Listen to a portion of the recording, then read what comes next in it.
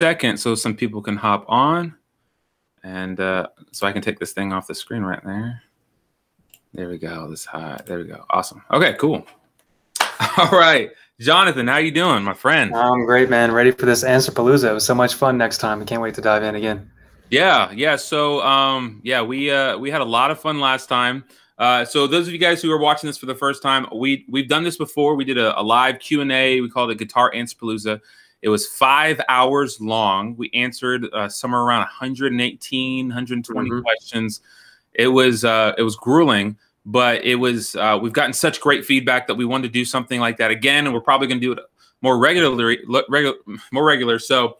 Um, what uh where it's not going to be five hours so you guys don't have to worry you don't have to get your coffee um well we have selected some really great questions and we're going to get into that but before we do that how are things going, Jonathan? Where are you at these days? They're going great. I'm actually in Puerto Rico right now. Um, got a window behind me, so that's why I got the little curtains. But um, yeah, regarding the Answer Palooza, um, you know, we we did do kind of a marathon. That's why we called it a Palooza last time, and it did end up going five hours. It was it was honestly brutal, but we got through it. We wanted to deliver answers to all your questions, but um, you know, although we did get amazing feedback, uh, we realized that at some point we were just trying to get through the number of questions. And I think that you know it, it's going to be more helpful for you guys uh, whenever we back the number of questions down. So we've kind of cherry picked some really good questions that a lot of people ask, and we're going to spend some really good time today going in depth and giving you really, really, really good quality answers.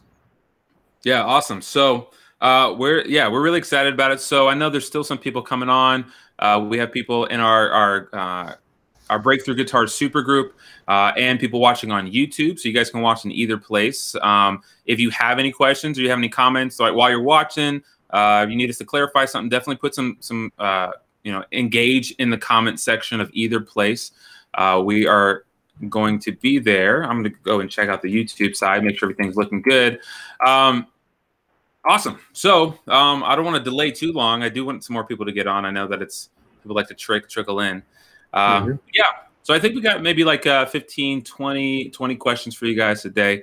Um, and it's gonna be a lot of fun. So, but if if you're new, if you guys don't know who we are, my name's Brock Douglas. This is Jonathan Boyd.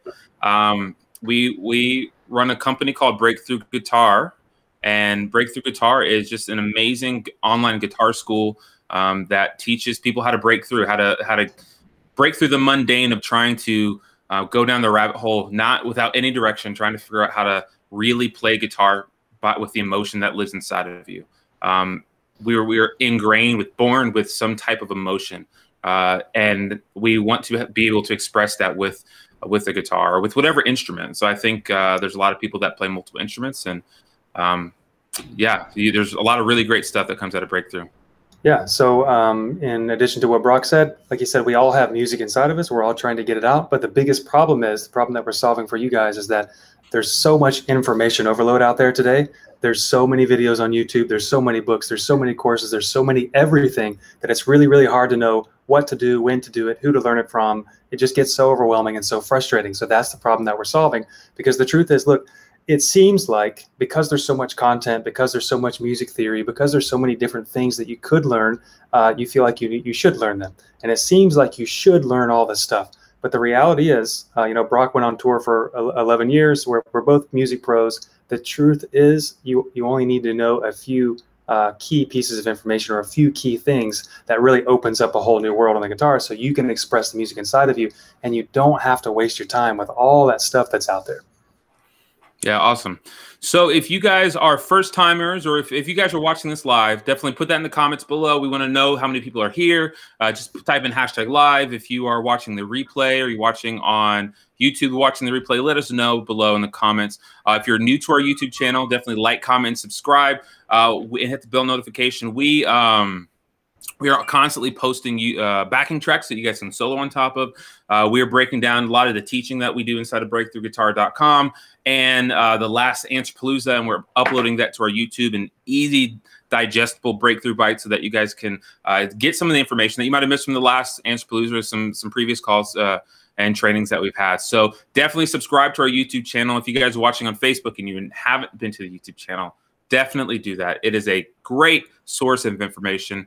Um, we have almost 2,000 subscribers over there, and it's growing growing really rapidly, and we're just having a lot of fun. So, without further ado, let's jump in and start answering some questions. How, how you, you ready for it? for it? Yeah, let's go for it, man.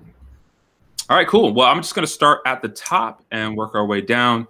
And the first one is from Molecular. Uh, the question is I'm new to this and up to improvising major scales and loving it. For some reason, it all sounds great in key of B major, but crap in G and average in A. Any ideas? Okay, so the first thing that we need to understand, let me break down the question first of all. So he's saying that he he's loving improvising with major scales, and he's saying that if, when he plays in the key of B major, it sounds really good to him. Yet when he plays in the key of G major or the key of A major, for some reason it doesn't sound so good. So we need to back up and really understand actually what's happening and how the guitar works from a fundamental level before we answer this question. So the first thing is that regardless of what key you're playing in, if you're playing a major scale, you're playing the same notes, meaning you're, you're playing the same feelings or the same sounds over and over again. It doesn't matter if you're in the key of uh, B or the key of A or the key of G there's only one difference between any of those keys, and it's not how the notes feel relative to each other. The only difference is the pitch of the overall scale.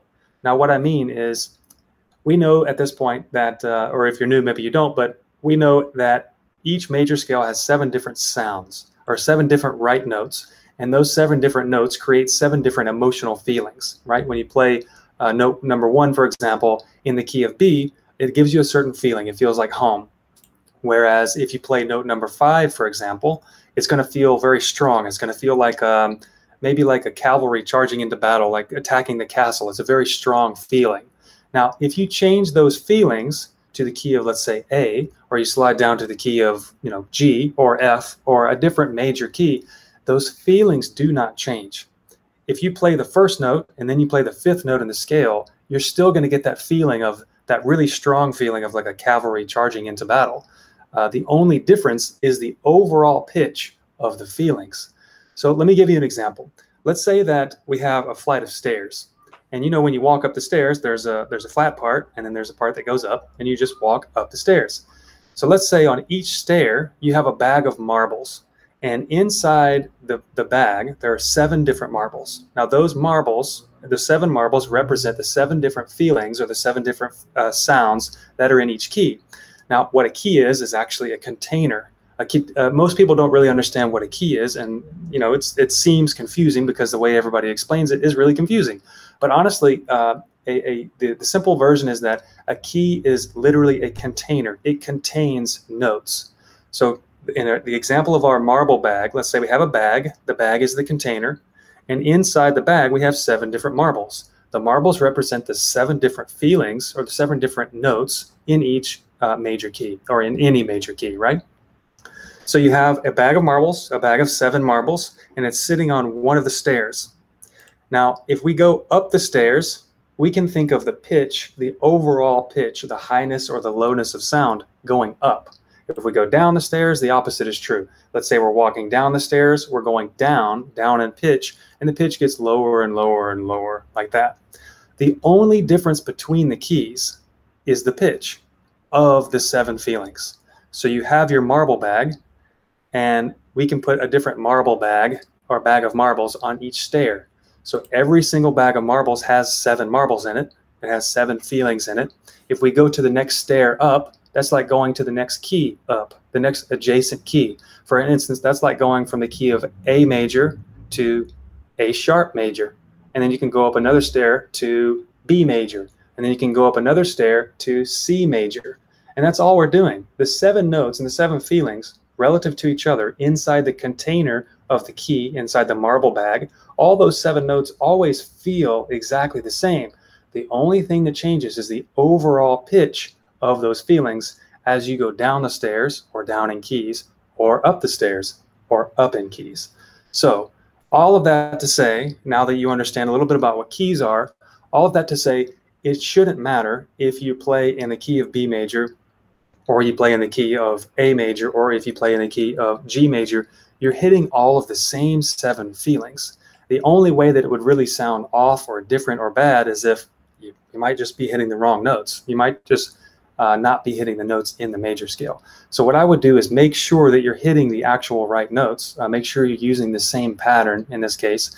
If you are going to uh, play in the key of B, A, or G major, and the reason I say use the same pattern is just because it's an easy way to hit the right notes. It's an easy way to hit the notes in the scale. So what do you think, Brock? Think that answers the question? Yeah, yeah, that sounds great. Yeah, I, I love the, the thought of the seven feelings. Um, and it's it's cool because um, you hear it a lot. The composers use it a lot. They use those feelings when you're when you're watching a movie or watching a play or a drama or something, and the you know when something's about bad is about to happen because they are playing into those feelings. I think they're probably the ones that use it the best. Um, those guys who are doing like TV shows and movies and just composing that music. Um, totally. Yeah, yeah, yeah I would agree. You know when it's going to be happy. You know when it's going to be sad. You know when there's tension. Exactly. Like they know they know how to pull on that, and then they know how to release that tension uh, mm-hmm. with the mm-hmm. different notes. So yeah, so that's the benefit of learning the seven feelings because when you learn them yourself, then you can control the emotion that you want to play, and that's the key, right? Remember at the beginning we said that we all have music inside of us that we want to express. Well, the only way you're going to be able to control that music or to express it and let it out in a way that you control on the fretboard is literally by learning the different the seven different feelings or the different feelings that you can play around with and learning how they interact with each other. Awesome. All right, so let's uh, let's roll on to the next question. I think that was a great answer, Jonathan. So I appreciate that. Um, and so, all right, cool. So the next one is is about relative minors. So relative minors are interesting to me. Uh, thanks for opening that door. What are the most important elements for playing in relative minor keys versus major keys? Uh, this is from Mark Monroe. So the question asked was, what are the most important elements between playing from minor keys and major keys? I think we're going to have to make a, a few assumptions here about what is being asked. So let's basically answer the question, what is the difference between playing in minor keys and major keys? Now, um, again, let's back up and let's think about the overall sound, overall mood. In general, the difference between minor and major? Well, we know they have different words, right? That's what we're talking about. We have the word called minor and we have a word called major. What does that actually mean? Before we talk about the actual guitar, what does it actually mean? Well, in general, um, Brock, you mentioned earlier about different feels that you can get when you're watching a movie. Maybe there's a, a part of a movie that's really sad or there's a part of a movie like in a horror movie where there's there's suspense and you know something's coming. Or maybe there's a part in a movie where somebody gets married and the feeling of the music is just very happy right? So in general the difference between major and minor is that major in general uh, major keys major chords major anything major scales they generally feel happy. That's just a basic way to think about it. They generally feel some people describe it as bright um, happy joyous um, positive, optimistic. That's the kind of feeling that you get when you hear something major sounding.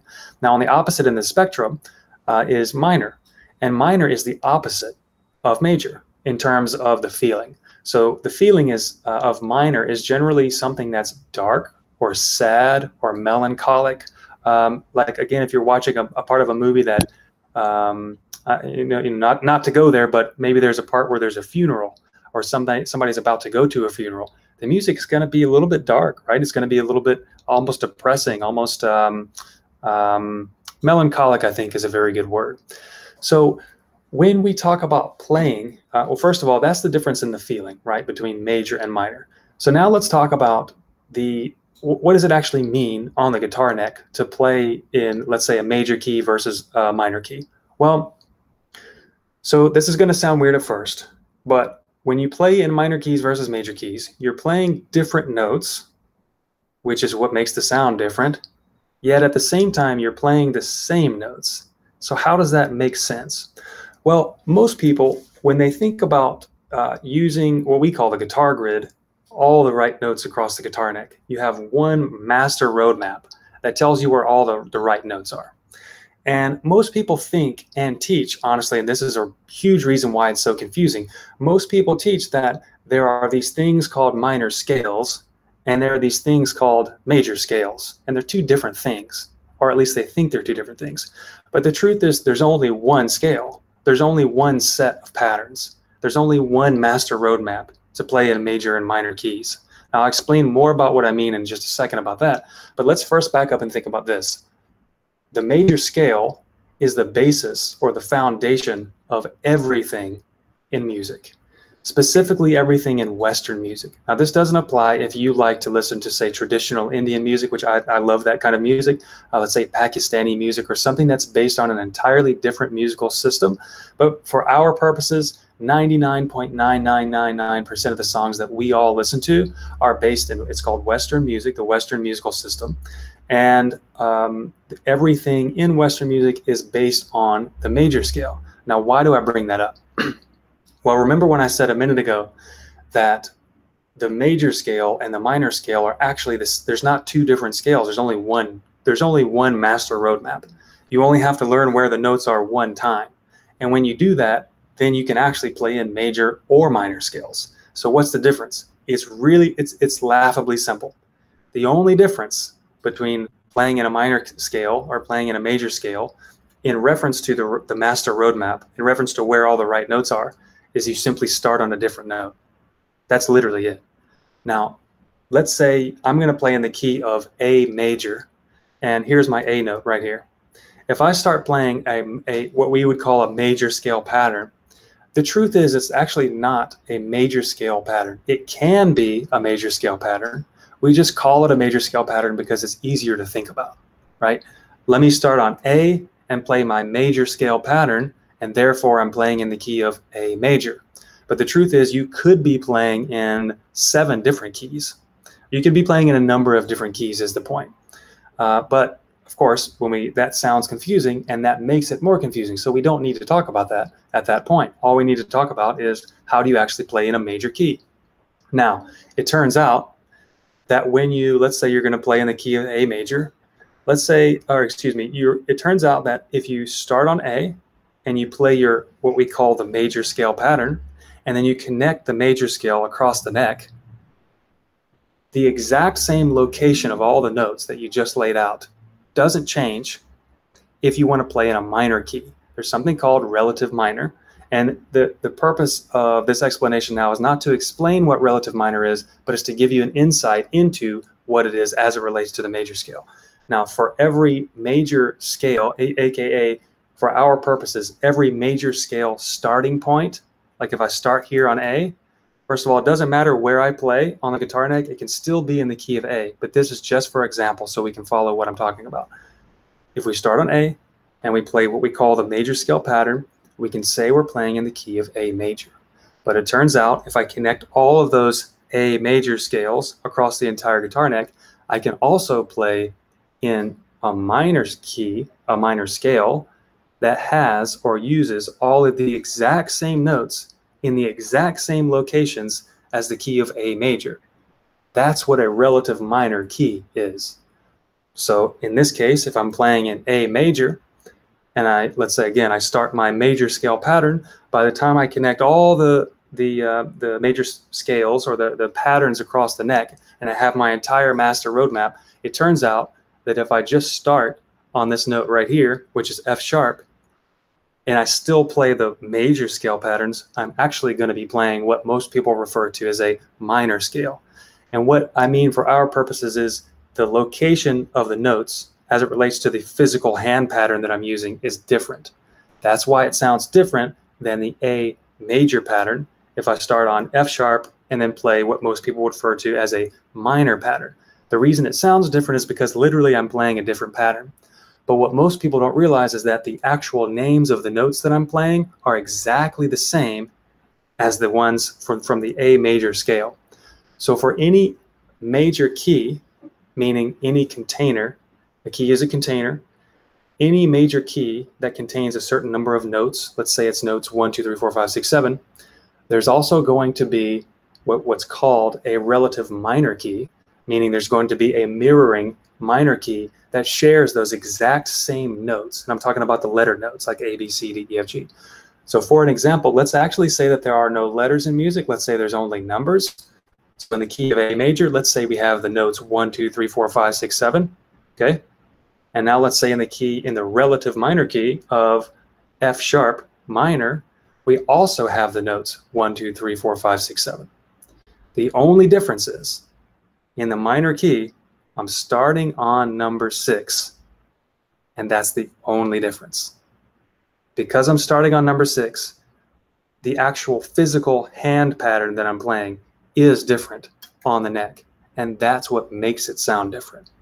Now, in terms of sound, this is where we go back to where we started, which is what is the difference in sound? Well, when I play the major scale, it sounds happy or bright or optimistic or joyous. If I play a minor scale, doesn't matter where it is, any minor scale is going to sound sad, melancholic, uh, even depressing, dark, etc. And that is the difference.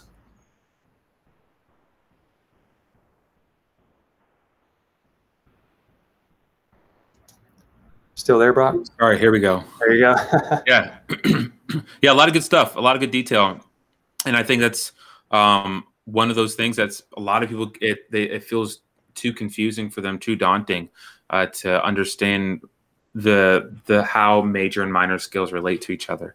Um, yeah, you if you if you understand what Jonathan just taught you, then it cuts the amount of scales, or the amount of uh, yeah keys in half. In half, exactly. Literally, yep. just cuts them in half. So awesome. All right, so let's jump into the next question. All right. this one is let me let me jump down and and uh, uh, throw in a, a, a, gear type question. This one's from Gene Sanderson. Okay, here we go. I thought you were going to say Gene Simmons. I got excited there. yeah, yeah, he got in our call. All right, uh, I, I, have an acoustic guitar, and I was told I could attach an amp on it to make it sound really cool or more vibrant. What do you suggest that I, I can use? Is that a thing? So, having an acoustic guitar and amplifying it? Yeah, like I, th I, think people are surprised that you can amplify an acoustic guitar even more okay. than what okay. it already is. Right, right. Okay, so the question is, can I amplify a an acoustic guitar, basically? So the question is, yes, of course you can. So I think most people see electric guitars and they see that you know they they make the um, the association between electric guitars and electric guitar amplifiers, right? You take your electric guitar and you plug it into your amp. That's just normal. That's what people do. Now, when it comes to acoustic guitar, that's a lot less common. So I think some people might not be aware that you can plug an acoustic guitar into an amp. And in fact, they make things called acoustic guitar amplifiers. Go figure. They make specific amplifiers for your acoustic guitar. That's just kind of like a, um, it, it, seems just like an electric guitar amplifier, except it's just kind of tweaked a little bit differently. The, the internals or the electronics are a little bit different. Um, but it's made for an acoustic guitar. So that's one thing you can do. Another thing that you can do, uh, which I think we're all you know bombarded by ads these days. I think I've, I've seen a few um, ads for some some kind of amplifier that you can actually put on the body of your guitar. I don't know if I would if I had a nice acoustic guitar. I don't know if I would want to mess up the finish on it, but you can. They, they do sell some type of amps that attach to the body of your guitar, uh, and apparently it amplifies the sound uh, right there. I'm not exactly sure how it works but those are the two different ways that you can amplify your acoustic guitar. Yeah, I've seen some really cool pocket amps. I think that might be what they're. Uh, yeah, like it kind of clips onto your pocket. Yeah, yeah, that's what I'm talking about. Yeah, yeah, there are, there are some really cool ones. Yeah, so it's it's definitely a thing that people do all the time. Um, country artists are a good example. Um, the majority of country artists that are out there singing and playing are playing on an acoustic and they're amplifying it. Mm-hmm. Um, and yeah, it's gonna it's gonna you can add some like some nice tones, some nice reverbs uh, when you're playing with other people. Um, if you're playing with a band, or you know, you might want to amplify it a little bit more. But even playing by yourself, you're going to get a completely different tone, and you have more control over the acoustic guitar with an amplifier, more control over the, the not just the volume, but like the low end, the, the mid range, the high end, and just the shape of of how it sounds. So. Mm-hmm. Um, yeah, I, I, if you if you're really serious about playing acoustic guitar, I definitely would recommend checking checking that out. Um, yeah, battery powered amps. They have a lot of those. So, I used to, and when I was in high school, um, I was sort of a troublemaker. I never got in major trouble, but I had a backpack um, that I got from a buddy who took some battery powered computer speakers and screwed them into the backpack. So I used to walk around with my Walkman CD player and just walk around the halls of the school playing, blasting music as loud as I wanted. Um, you literally can do the same thing with an acoustic guitar. so, all right. Okay, next question. Um, let's see. Uh, let's do uh, this one is on uh, guitar picks. Uh, this one's from Mark Carroll. A pick has three different angles in which it can be held. Discuss the best way or angles to hold a pick for the best and fastest alternate picking. Okay, so the question is, um, the the assumption is that the pick or with your pick you have three different angles that you can pick with. And Brock, you said the question was, what's the best picking angle for fast uh, alternate picking? Yeah, he wants you to discuss the different angles, the best angles to hold the pick for different, yeah, for different, I guess, picking styles or yeah, alternate picking. Okay, so basically, what's the best way to hold the pick, or what's the best angle, really, more specifically, to hold the pick to be able to pick faster? Essentially, I think that's what we're getting at here. So first of all, let's uh, let's be clear about something that in this question it was assumed that there are three different picking angles. Well, Brock, how many degrees does a circle have in it? 360 at least. And how many how many different ways can you divide one degree? How many times can you divide one degree in half?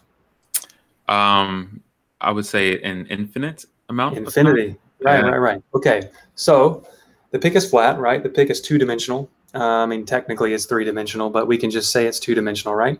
So if I have my pick flat on a string, how many degrees can I rotate the pick before it gets flat again? 180. 180 degrees. And anywhere in between that 180 degrees, how many different variations can I have, or how many different uh, how many different ways can I half the degrees that I'm that I'm turning? There's an infinite range. Mm-hmm. There's a spectrum, right? I have 180 degrees that I can turn the pick. Okay, so first of all, there's not only three ways to hold the pick, or there's not only three ways to angle the pick. There's literally 100, an infinite way, uh, an infinite number of ways, or an infinite number of angles to hold the, or to angle the pick within 180 degrees. Okay, so you can angle it this way, you can angle it this way, this way, this way, this way. So it exists on a spectrum. Now let's just talk about something that's a general principle of physics everybody loves physics, right? Um, the, the, the pick is flat on two sides, and it's very thin and round on this side. Now, in general, if I'm trying to pick a string, if I put the flat side of the pick on the string, because it's flat, because there's a lot of surface area, it requires a lot of force to pick through the string. And then when I do that, I pick it really hard and it sounds really harsh, right? But if I angle the pick a little bit, what happens is now the edge of the pick is in a sense slicing through the string. And it's a lot easier for, for my pick actually to go through all of the strings at an angle like that. So the, the point is there's not a best way or there's not a perfect way or there's not a predetermined perfect angle to turn your pick. You just need to think about well if my pick is flat and i'm trying to do alternate picking or economy picking or any kind of picking and my pick is flat against the strings, it's going to be harder to pick. And because it's going to be harder to pick, it's going to slow you down and you won't be able to pick as fast. So the goal is to start angling your pick. If I have my pick flat, the goal is to start angling your pick a little bit so then it starts to slice through the strings as you pick. Now, what I would do is go to the extremes and then find a sweet spot. What I mean is start with a flat, uh, start with your pick flat on the strings, see how that feels. It's probably going to feel really bad because it's hard to pick through the strings with your pick flat. So start to angle it a little bit. Now, let's say you're playing a pattern. Uh, it doesn't really matter what you're doing with your left hand as long as you're doing, uh, as long as you're playing across all of the strings. You can even just play like this if you want to. You don't have to do anything with your fretting hand. But start to angle it a little bit and then play whatever you're going to play and see how that feels. Then angle it a little bit more, see how that feels. If I angle it too much, look where my elbow is going look where my elbow, my shoulder's going. I mean, that's just, you know, that's going to get ridiculous and uncomfortable, right? So you're not going to go that far. That's just an extreme. So go to the extreme, see where it feels. Uh, there's going to be a sweet spot where it feels bad at first when the pick is perfectly flat, and it's going to start to feel a little better, a little better. You might find a sweet spot there, but go all the way to the extreme to where it feels uncomfortable again. And then go back and forth until you dial it in to that perfect little sweet spot. Now, uh, first of all, that's how to find the, the, the picking angle um, that will allow you to play the fastest for whatever it is that you're trying to play. Uh, part of this is it depends on what you're trying to play, right? But the other part is I don't want you to think so much about how you're moving your hand or what you're doing or what the angle is or what the square root of five is. You don't need to be thinking while you're doing that. at first think about it and try to practice it to find a general picking angle that will work for you and then just play the guitar just play and play and play because you'll get used to it and then over time it, it, the pick just becomes a part of your fingers. And yes everybody still drops picks even people who've been playing for 60 years right? Everybody does it. It's not just you i promise. But if you just play and just focus on playing the picking angle will take care of itself. As long as you're aware of the fundamentals and you kind of find a little sweet spot then just play try to relax, try to play comfortably, and over time, you're going to find your own sweet spot. It's going to feel perfectly comfortable, and you'll be able to play faster and faster. Yeah, we've had some students who have been playing guitar for you know 20 years, um, and just a tiny little tweak to how they hold their mm-hmm. guitar pick has has made the difference. Um, so, but yeah, it's I think it's something you experiment with and you play around with, and mm-hmm. you find what works best for you.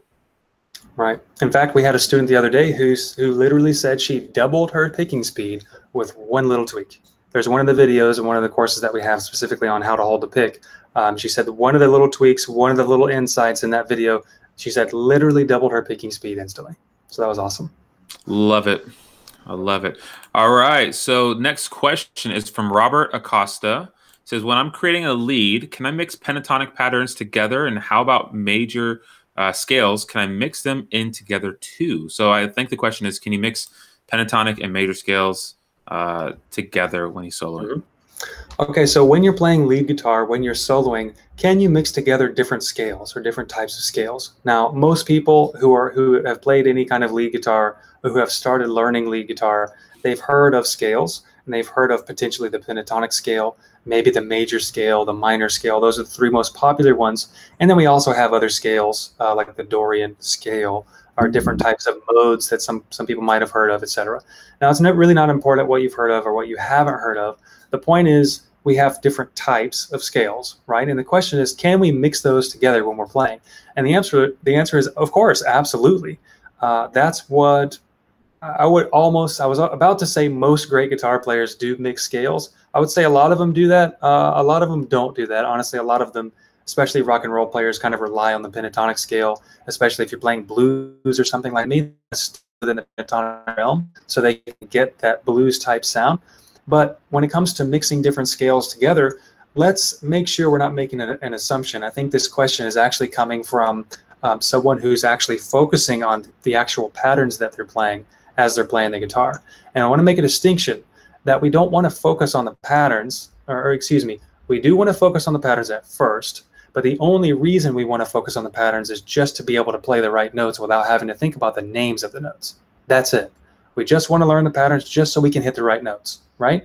And once we learn the patterns and we start getting comfortable with the patterns, then of course the goal is, let's say you learn uh, pa a pattern and you learn how to connect the fretboard with different patterns. So let's say you have pattern number one here, doesn't matter what the scale is. Let's say you have pattern number two here, and then you have pattern number three here. Let's say you have these three different patterns, and your goal at first is to learn how to, quote, connect this much of the fretboard by playing all the right notes, by connecting these three different patterns together. Now, at first, that's the easiest place to start. Why? Because it's really simple to learn a, a, an easy finger pattern and then learn a second easy finger pattern and then learn a third easy finger pattern.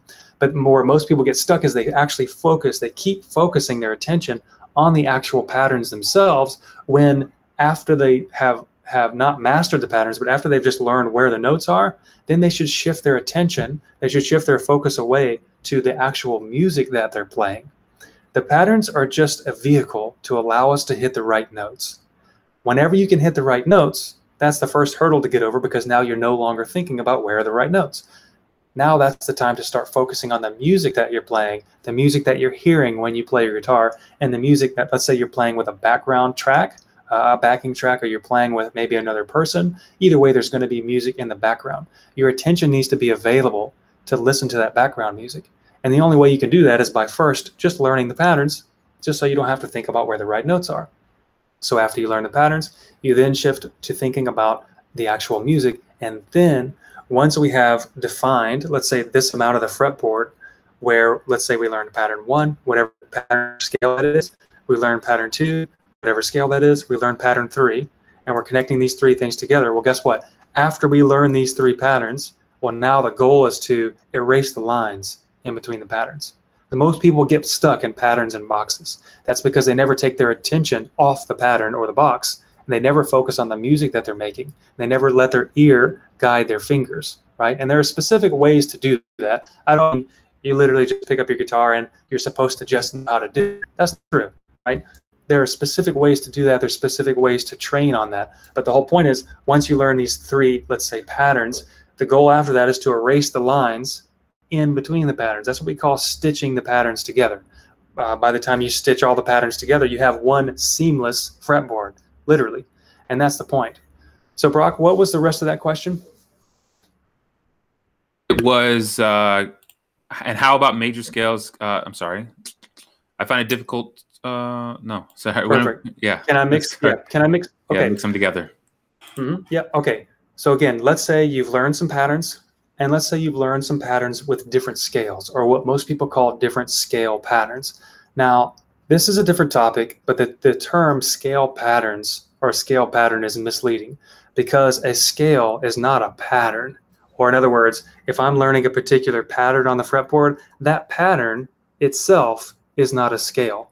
I'm playing a scale with the pattern, but a scale is just a series of notes. I can play the same series of notes. Let's say I play the notes A, B, C. Let's say that's a scale, the ABC scale. Well, I can play the notes A, B, C in a million different places on the fretboard. I would be curious to know what the real number is, but a lot of different places on the fretboard um, in different combinations. So maybe I can play it here. I can play the ABC scale here or here or here or here. It doesn't matter where I go. So it's a little misleading when we say that a pattern itself is a scale. Remember, the pattern is just a vehicle to get you to hit the right notes within the scale without having to think about the names of the notes. So back to the question about when I'm playing lead guitar, can I blend in different types of scales? Meaning, can I uh, mix pentatonic scale with, let's say, the major scale or the minor scale? And of course, again, the answer is absolutely. So why would you want to do that? Well, if we think about what a scale is, like I said a minute ago, a scale is a series of notes. That's great. That's the boring answer, right? No, nobody wants to hear that a scale is a series of notes because it doesn't do anything for us. We're trying to play music. Music is just an expression of an emotion, right? It's an aural emotion, uh, emotional expression. And when, if we were going to play different types of scales, the reason we would do that is to express different feelings, to express different themes. For example, if I wanted to pick up the guitar and play something like uh, that sounded like blues, well, I'm going to play the pentatonic scale. Why? Because the pentatonic scale sounds like blues, right? It's it's not that the pentatonic scale sounds like blues. It just so happens that blues uses the pentatonic scale, so everybody associates uh, the pentatonic scale with blues, right? Doesn't mean you always have to play the pentatonic scale, but it gives you that blues feeling, gives you that blues sound. Whereas on the other hand, uh, some, like a major scale in general, it's really hard to make uh, a one statement about what a major scale sounds like, but it's generally going to sound, again, happier. Maybe some people might think it sounds a little bit like classical music, or it can sound like classical music, or maybe more complex music with like different chords that's maybe not necessarily uh, a pop song, or it could also be pop songs as well, like happy, upbeat type sounding pop songs. Now, on the other hand, we have, let's say, the minor scale. If you were going to play a minor scale, well, that might mean because you want to express some kind of a sad or some kind of dark or some kind of uh, angry emotion. And again, that's the reason why you would play those different scales. Now, the only thing that you can't do is mix anything that's major and minor at the same time. You can't play in a major key and a minor key at the same time. That's the only thing you can't do. So basically, you can't be happy and sad at the same time. You got to pick one, right? But yes, you can absolutely and you should absolutely focus on or, or practice uh, experimenting with mixing different types of scales. They all have to be in the same key, but experiment with mixing different types of scales, aka mixing different types of sound themes together when you play. When you do that, the musical landscapes that you will be able to paint will be a lot more bright, a lot more vivid, a lot more colorful, with a lot more depth. And that's the stuff that keeps people wanting to listen. Great answer. I love it. Next question is going to be from Michael Parnell. And Michael asks When I play a solo over backing tracks, um, and it's awesome, and I'm lost in the moment, I record myself. I find it difficult to repeat the solo like I did before Is this normal? Man, this is a great question. This is a great question. Okay, so when I'm playing lead guitar, when you're playing lead guitar, you get lost in the moment. First of all, that's the most amazing feeling on the planet, in my opinion. It really is. Uh, it literally can bring you to tears. So whenever you, you you're playing lead guitar, you're playing with a backing track or something, you just get lost in the moment. And the question is, I can't really repeat uh, what I played when I was lost in the moment after the fact. Is that bad? Is that a bad thing? No, that's actually the best thing. Why? Because that means you weren't thinking when you were when you were playing. You were just feeling it. You were letting it flow. Um, this is a little bit of an odd concept for people, some people to to think about. But if you imagine driving in your car and listening to your radio, you know how you have to like let's say we used to have to turn the dial or you hit the button to tune in, literally to tune in to a specific frequency or a specific radio station. And only when you tune in to a particular radio station the music starts coming through. Well, guess what? We are all radios. Okay? I know this sounds weird, but we are all radios. And there's music wanting to come through you literally just have to change the frequency mentally you have to let it uh, let yourself find the signal to where the music starts flowing and then it starts coming out of your guitar okay it sounds kind of weird but that's exactly how it works and what this question is asking about is when i actually dial in when i tune into the station and the music starts flowing through me first of all like i said that's the best feeling on the planet but the second thing is is that bad that i can't remember what i played or that i can't repeat what i played and again, the answer is absolutely not because you were in the zone. You were in the moment. You were just letting the music flow. And that's the that's the highest level of playing music. That's like true musicianship right there. Now, if you can't remember what you played, who cares? Think about it like this. If you, uh, well, of course, unless you're wanting to write a song, then record yourself playing because then you can go back and listen to it and you can see those awesome parts, or at least the parts that you thought were awesome. You can go back and listen to those parts again, and you can figure it out, you know, how to play it on your guitar. But in general, uh, if you can't play, like I said, if you can't repeat something after you are in the zone, you come out of the zone, you can't repeat it earlier. Think about it like this: if you're having a really good conversation with somebody, your responses, if somebody asks you a question, and maybe you're talking about a really deep topic that you really care about, your responses are going to be 100% tailor made to the specific question that the person is asking you at that moment in time, right? If you had any kind of a cookie cutter answer, and this is the huge problem, this is probably the biggest problem with all this, the stuff out there that just teaches you how to play specific licks or specific riffs, that you take this one piece of music that exists in time and you try to uh, fit it into another piece. Like if I'm having a conversation with a friend, and let's say I, I have the same, uh, we're having a very deep conversation, I'm going to respond exactly to what the person is asking me or exactly what we're talking about. But if we were having, it, if I was in another conversation with another person and I said that exact same thing, it wouldn't really resonate. Like it doesn't really fit the scenario. And that's because I wouldn't have really been listening to what the person is saying. So it's exactly the same as going to a foreign country. Let's say you're going to go to i'm in puerto rico right now so let's say you only know uh, where is the bathroom in in spanish you know? And uh, you, let's say you know how to say where is the bathroom? and hi nice to meet you. Well if you walk in a mcdonald's or if you walk into a restaurant and the, the waitress comes up and you don't really understand what she says and you say hi nice to meet you. Where is the bathroom that's a little bit awkward right it doesn't, really fit so again, the, the best thing that you can ever uh, hope for as a musician is to have fluency in the language of music. And when you can respond to the specific situation, um, remember I just said something about having a, a, really deep conversation. Music is literally just a conversation. In fact, uh, one of the greatest jazz guitar players of all time, Pat Metheny, happens to be one of my favorite guitar players. Um, he said, music at its best is like a great conversation with an old friend. And I think that's amazing. But specifically as it relates to what we're talking about right now, if you're not listening, if you're not tuned in and the music isn't flowing through you and you're not responding to the specific situation at hand, the specific conversation that's going on right now, well, you're not really playing. You're just regurgitating. And we all know that regurgitating is not any fun. So, no, absolutely a great thing that you can't remember what you played after you play it. Um, if you want to be able to remember just record yourself when you play so you can go back and listen later and then figure out those cool little ideas that you had. But yeah.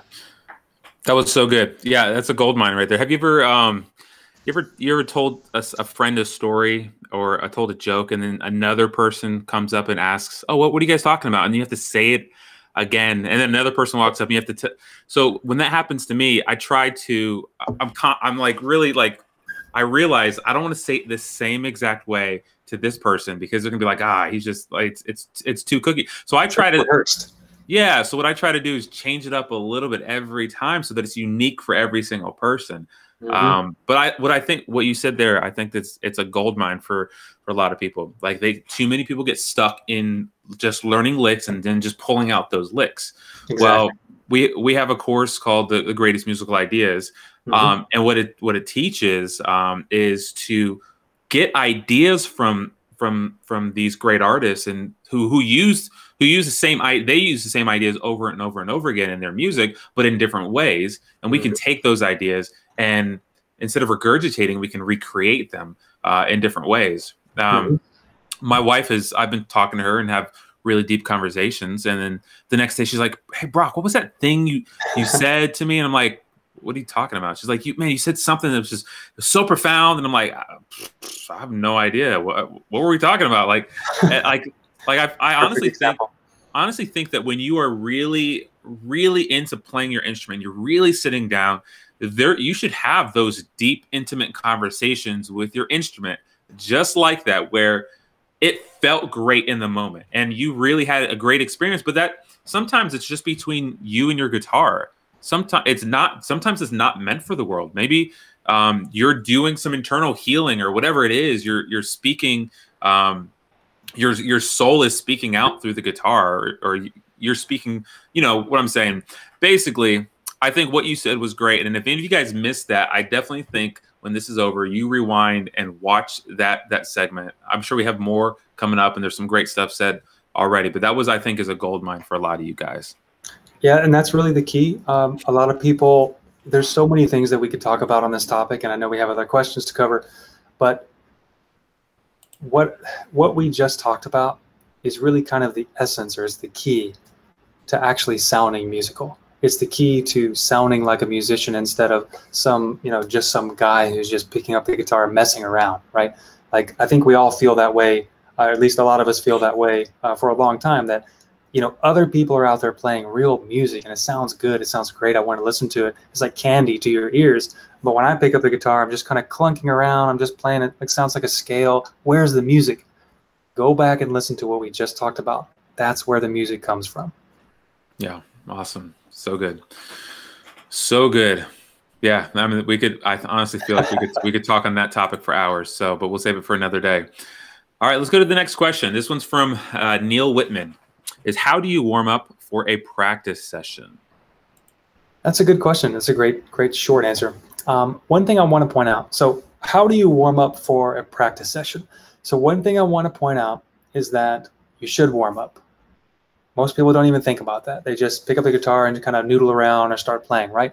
But the, the, the truth is, you don't, there are different stages of, let's say, one specific practice session. And when I say the words practice session, I don't mean sitting down to a grueling schedule and like, I'm going to practice scales for 10 minutes and I'm going to practice chords for 10 minutes.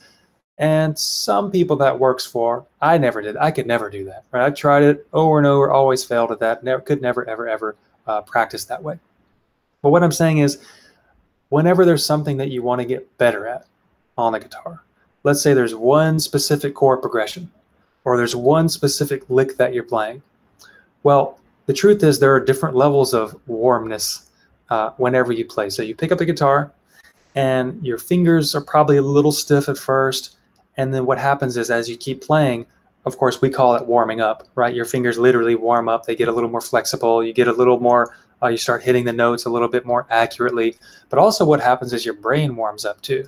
So not only does do your fingers warm up, the the level at which you can let the music flow through you or just kind of play without thinking uh, also warms up and it becomes more and more and more. It's kind of like opening a faucet. If you open up a faucet a little bit, there's a few drips coming out So when you first pick up the guitar, a few drips come out, kind of like, okay, I want some more water now. But if you just keep uh, warming up and keep keep playing a little bit, it's like the faucet turns on all the all the way, and then until you know the point where you're really flowing at some point. That's you know that's when we call it getting hot, like or he's really on. If somebody's playing on stage one night, maybe they start out with the first couple of songs that they're playing and it's kind of okay. We've probably all been to concerts like that where the first few songs are like, eh, okay, and then it kind of gets better as it goes along, and then man, by like the three quarters of the way through, by like the tenth song, they are just on it. The, the band is just on fire. They're really on top of it. They're hot, right? So that's kind of the same thing happens every single time you pick up your guitar. So what's the best way to warm up for a practice session? Honestly, uh, one thing that that I do that gets kind of boring is um, what you can do is literally just play. Let's say I play this note, and then the the next fret with my next finger, and the next fret with my next finger, next fret with my next finger. That's it. Just four notes using all my fingers, and I'm just going to go. Uh, Brock, tell me if you can hear this. Uh, can you hear my guitar? Yep. Nope. Yeah, yeah, you sound good. Sorry. Okay, cool. No worries. So uh, what I'm going to do, and I want to make two distinctions here. So what I generally do, I, I kind of move around the fretboard, but I'll give you a very simplified version. So I pick up the guitar, and I'm not really thinking about anything, right? All I'm thinking about is trying to hit the notes well, meaning make them sound good, like that. And I'm just going to go to the next string, but I'm not just going to play like I'm playing a.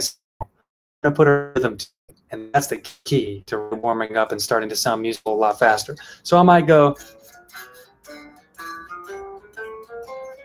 something like that. I might just kind of move around. It doesn't matter which notes I hit. I'm not trying to impress anybody or I'm not trying to sound really good or anything. It doesn't matter. I'm just trying to get my fingers moving.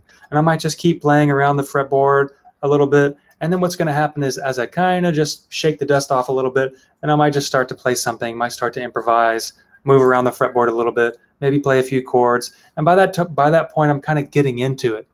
And by the time I start to literally warm up, and I start to get to the point where uh, you know I can move my fingers a little bit easier, and I'm really starting to enjoy the playing, then I might actually focus on what am I trying to get better at. What is that one thing that I want to focus on right now to try to improve? And for me, you know, would it be like, let's say let's say I'm playing some kind of arpeggio or something, or let's say I'm playing some kind of a scale or some kind of part of a song, or maybe some kind of a little lick, or, or maybe even just an exercise or something. But all I'm going to do, my point is that I'm going to just literally play around with a rhythm. That's the most important part.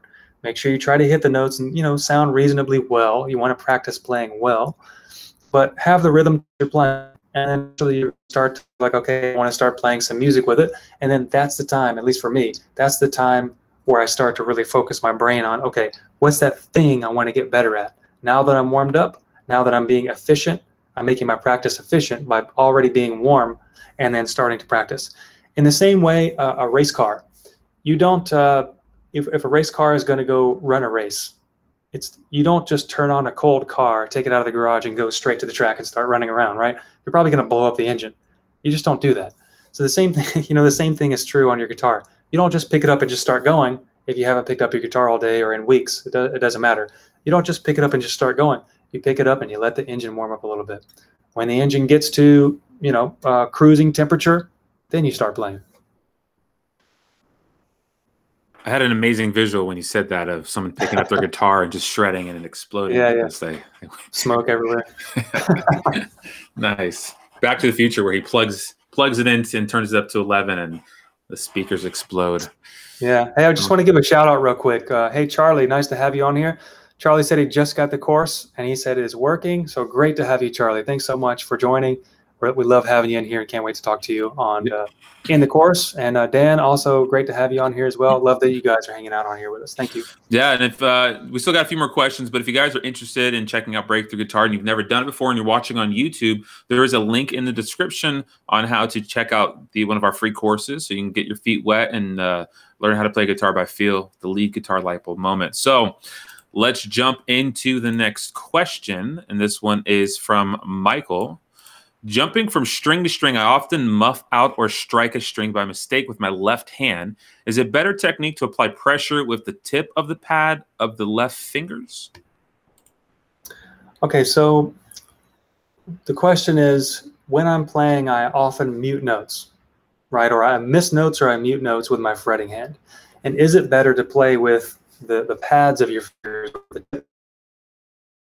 So what say that a lot of uh, beginner guitar players and and a lot of intermediate guitar players actually. In fact, I'm I'm very surprised by how many people have been playing for 10, 20, 30 years and still play with the pads of their fingers like this. So when they play some notes, they don't necessarily, you see how my hand is kind of curled around here? Uh, they don't necessarily play the note with the tip of their finger. And when I say the tip, I don't mean like your fingernail. You don't want to do that, right? You want to have a balance. You don't want to play with your fingernail, but you don't want to play with the pad of your finger either. But a lot of people do play with the, fat, the pad of your finger. And, you know, it's just simple physics that if you play with the pad of your finger, uh, there's, there's just a bigger, flatter area, and you're a lot more likely to either not press the string all the way down because this part of your finger is softer than the very end, than the very tip right here, which where which is where you should develop calluses and make it harder. But this part of your, the fleshy part of your finger right here is really soft. So even if you press the fretboard down all the way, you press uh, your finger down on the fretboard all the way, well, your finger might actually be so soft that the string is still off the frets. So it actually doesn't, the, the, the note doesn't play because the strings aren't pressed all the way down to the fret. So that's one thing that can happen. Another thing is that just because of the pad of your finger is a lot bigger than the tip of your finger, well, it's super easy to hit maybe two notes at a time. That's why, like, let's say we're making an extreme example of this is bar chords. If I'm going to make a bar chord, I'm going to flatten my entire finger to put across the neck. Well, that's because I want to play all the strings. But if I would just want to play individual notes, well, I don't want to flatten my finger. I don't want to play with the pad of my finger, with my finger flat like this. I want to play with the tip of my finger just like this. Uh, here you go. Here's an easier angle. I just want to play with the tip of my finger, not the fingernail, not the pad, just the tip. And over time, when you practice doing that, you'll be able to hit all of the individual notes uh, without really messing up the other strings. Sometimes you are going to hit other strings. That's just, you know, it just is what it is called playing guitar, right? Nobody's perfect. A lot of people sound perfect, but that's because you're probably listening to a studio album and they had a zillion takes and there's a bunch of editing and polishing, and real people don't sound like that. And guess what? We're all real people, right? So uh, even if you do, um, let's say, cause some other strings to vibrate or accidentally hit some other strings, there's some techniques we can talk about down the line where you can actually mute with your um, picking hand so you the other strings don't actually sound. But that's not really important for right now. For right now, the tip is, pun intended, to use the tip of your fingers. And uh, that's what I would focus on for right now.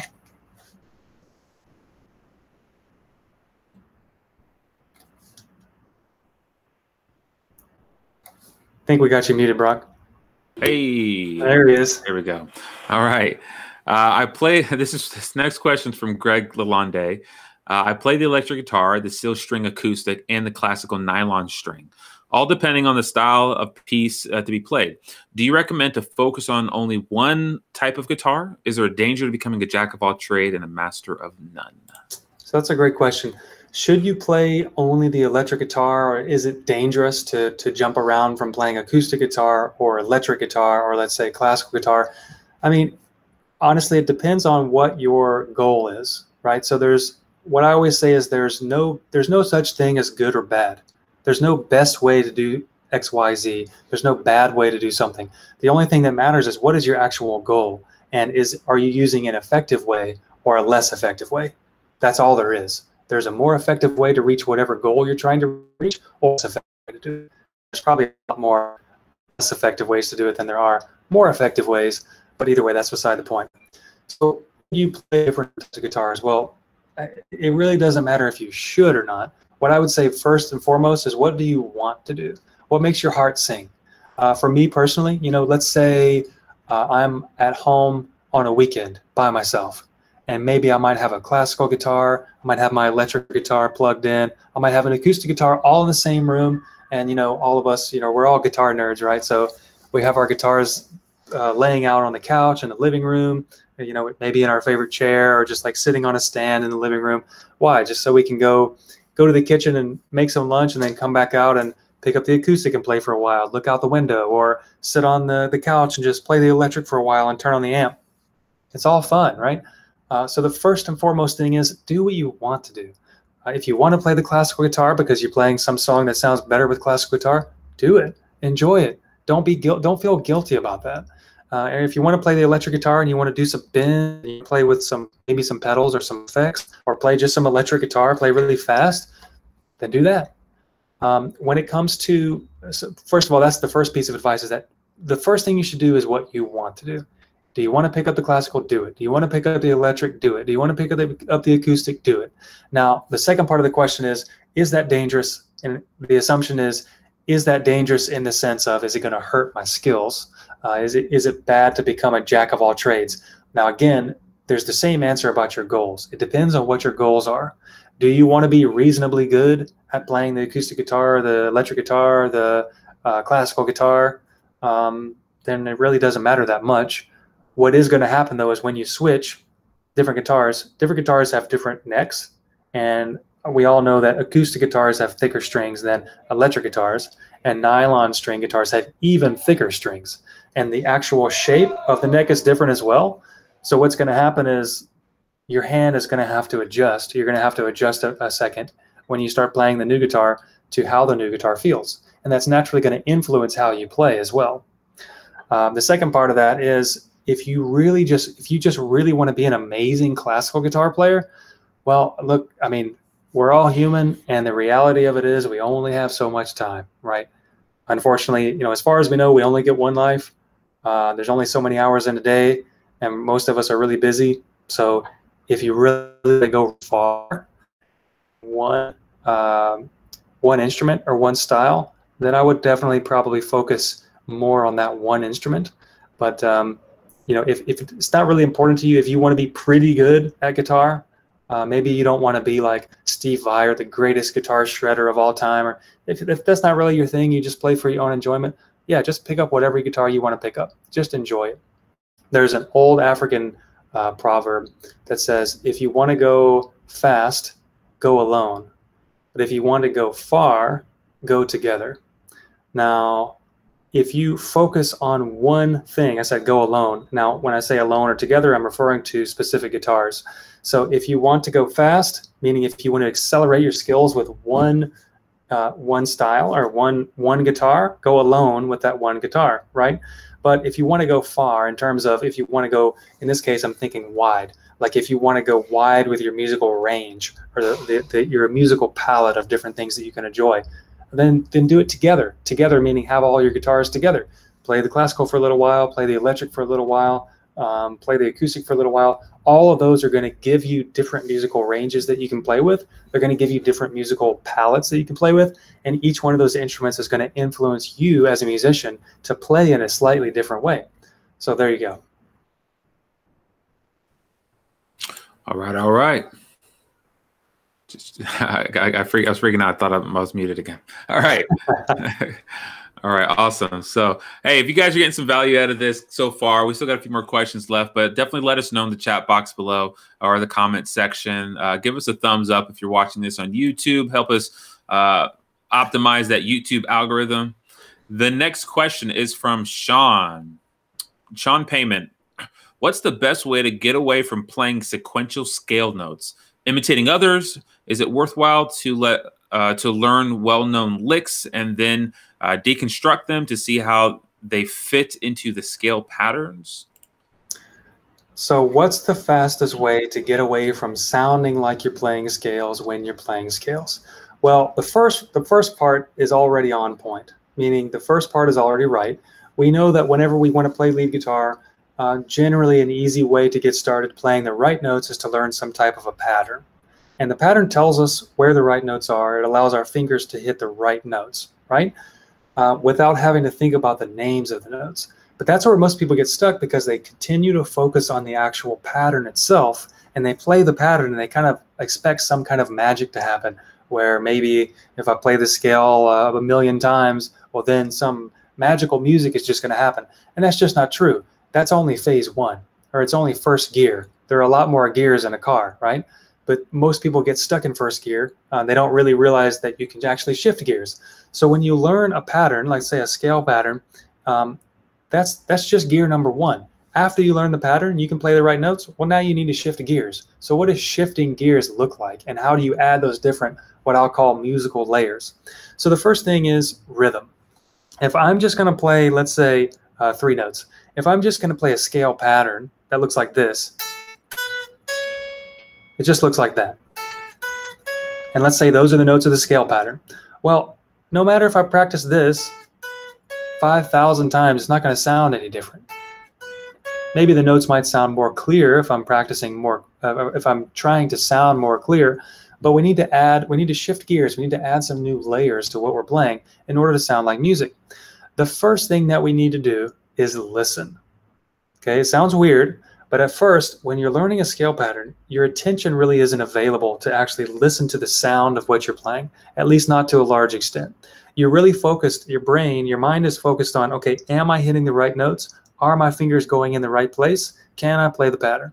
That's really what you're focused on, right? So the, the key is after you've practiced that, and after it's not really that much of a challenge anymore, it doesn't matter if it's still a little bit of a challenge, that's a good thing. Uh, you don't want to stay what I call staying on the vine too long, like a piece of fruit. You don't want to leave it on the vine too long until it rots. That's when stuff gets. That's when you play the same thing too much. That's when it gets old and boring, and you just kind of start to feel disgusted with your progress because you're you just play the same old stuff all the time, and that stinks. So um, you want to first, like like I said, learn where the notes are in the pattern, but that's just gear number one after you feel reasonably comfortable. It doesn't have to be perfect. After you feel reasonably comfortable with where the notes are, then what you want to do is start shifting your attention to your ear. What is what am I hearing? I'm asking myself as I'm playing, what am I hearing when I play this?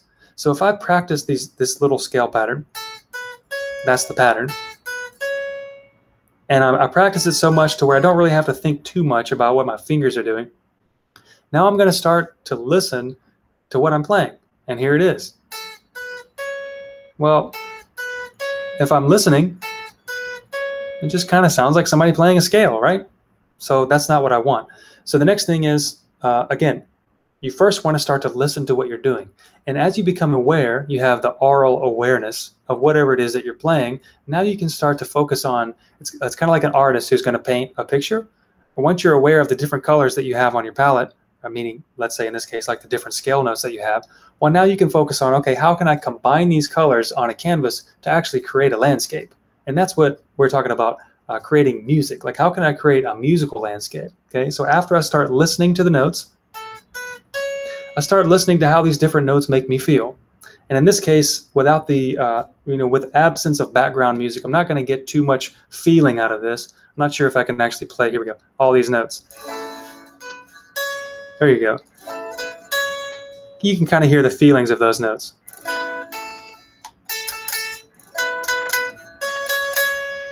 So it gives me a feeling because there's some contrast or there's some juxtaposition between the notes, which actually produces an emotion or produces a feeling. Now, after I'm listening to the notes, the next thing I might want to consider adding is rhythm. And rhythm is essentially like the backbone of any music. It's what gets people bobbing their head. It what it's what gets you tapping your foot if you go to a concert or a restaurant or you see people, you know, somebody just playing at your house at a party or whatever, right? It's that's what we call getting into the music. So instead of just playing it straight ahead, what we call straight ahead, like this, just a boring scale, I'm first going to listen to it. I'm going to recognize, hey, that just sounds like a boring scale. Okay, now let me add some rhythm to it. So what if I go well, now it's a little more interesting, even if it's not the most amazing thing in the world. What if I do? Now it starts to become a little bit musical. What if I do this? Now it's even more musical. What if I switch the order of the notes? So that's the second thing that I can do. Let's say we, we focus on the rhythm. Uh, let's say that's gear number three. And now we can start to play around with um, when do we play the notes? So, or or really slow, right? I can play along with the rhythm. I can play along with the timing of the notes. Next thing I can do is play along with the order of the notes. What if I did this? Now I'm adding rhythm with the order of the notes. Or now it's totally different, right? I'm only playing three notes.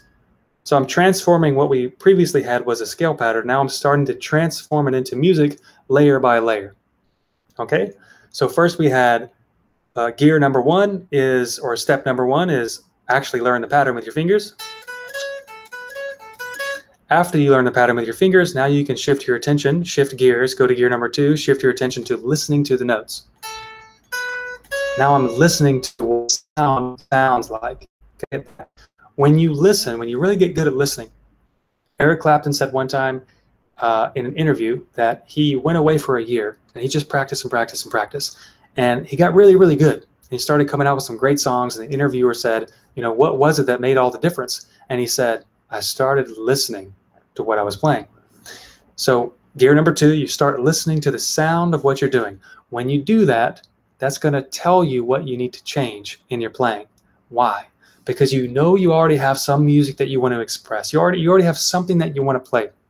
There's some way that you personally want to hear these specific notes that you're playing in the scale pattern. Again, everybody has music inside them. You have your own version, right? When you start listening, you're going to hear the difference between what you're playing and what you want to feel, what you're playing and what you want to be playing, right? So that's gear number two. So is listen.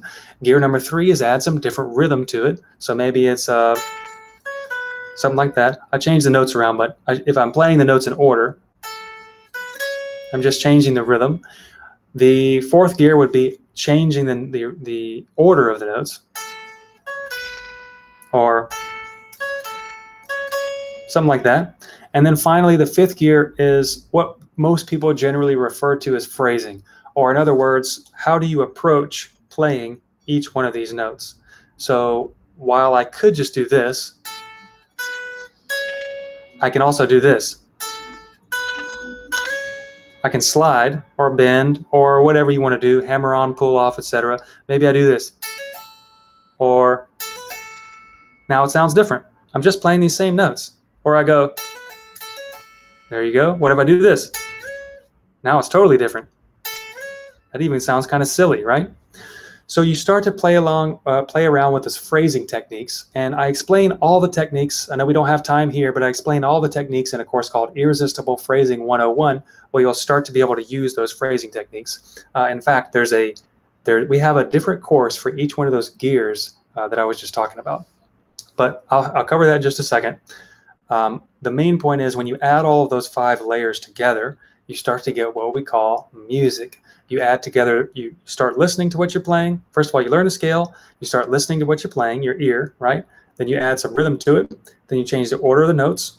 And then you start adding some phrasing techniques on top of that. When you do all those things and you practice it, you're going to start playing music. So instead of playing, I might play something like this. Whoops. Something like that. Or Who knows? It doesn't matter what it sounds like. My point is I'm just showing you how to add all of those together. And when you do that and you really listen to what you're playing, your hands are going to get used to doing all different all five of those different gears or you know doing the phrasing doing the rhythm etc but the whole point and the essence and the key to all of this is to listen to what you're doing and listen to or feel what it is that you want to be hearing what is the music that you want to hear or what's the music that you already hear in your head. Try to match that on your guitar and that's when you're really just letting the music flow. Awesome. Yeah really good stuff. Uh, just a shout out uh, charlie c putting the on youtube but this great thank you.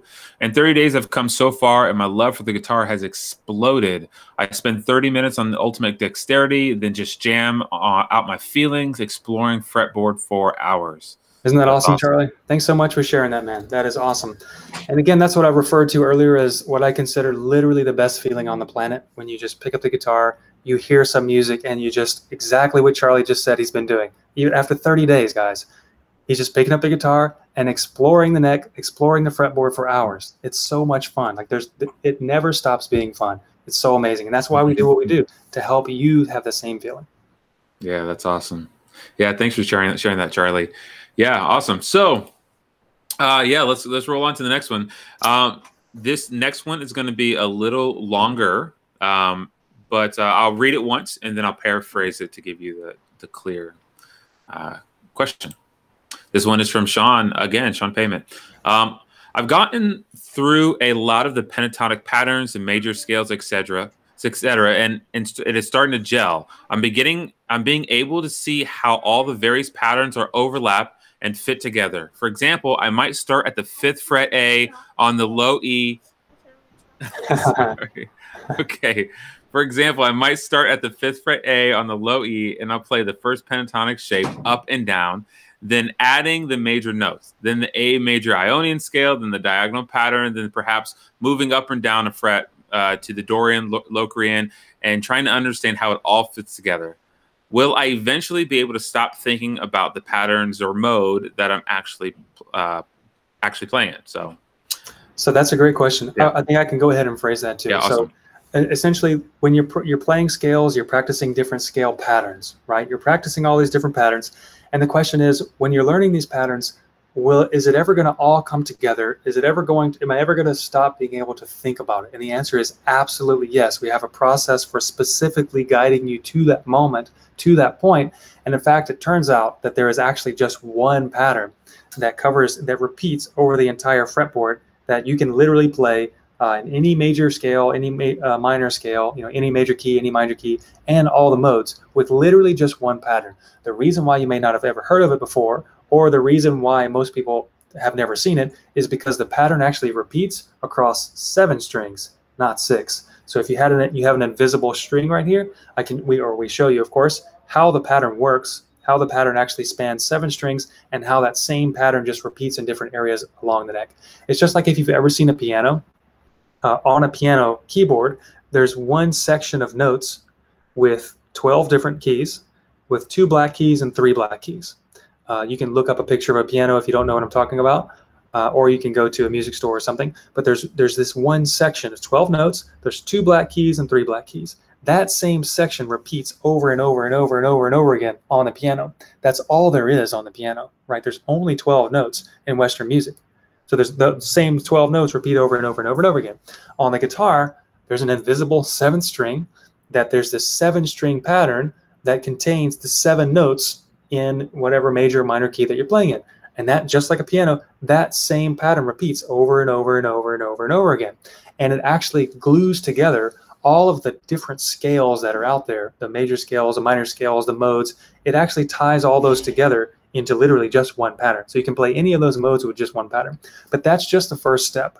So as I've already talked about earlier, the mistake that most people make, um, and it's not their fault because they don't know it, right? You don't know what you don't know.